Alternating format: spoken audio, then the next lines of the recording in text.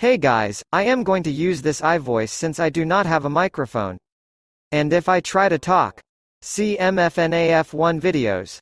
Anyway I will make more videos of these. So stay tuned and have a good one. Oh and before I leave, I will use this voice for other videos.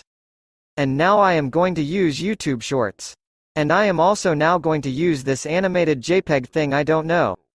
Have a good one.